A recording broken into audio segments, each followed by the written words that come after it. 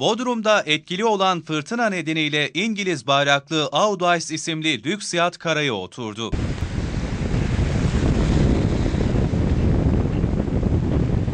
Bodrum'da rüzgarın hızı zaman zaman saatte 80 kilometre ölçülüyor. Fırtına nedeniyle Bitez beldesi açıklarında demirli bulunan yaklaşık 20 metre uzunluğundaki İngiliz bayraklı Audice isimli lüks yat karaya oturdu. Lüks yatın bazı bölümleri fırtına nedeniyle zarar gördü.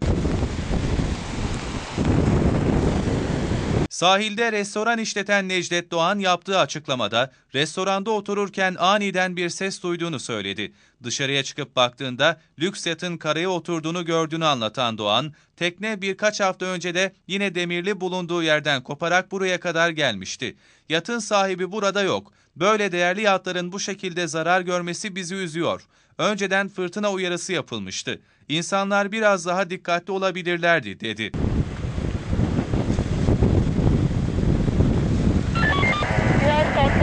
Bu arada Bitez beldesindeki bir restoranın önünde bulunan ağacın büyük dalı koparak bir motosikletin üzerine düştü. Motosiklet sahibi Bedirhan Şan, motosikletinin zarar gördüğünü ifade ederek olay sırasında motosikletim park halindeydi ama zarar görmüş. Fırtına çok kuvvetliydi. Hem ağacın dalı koptu hem de masa ve sandalyelerimiz denize sürüklendi dedi. Ağaç nasıl kırıldı?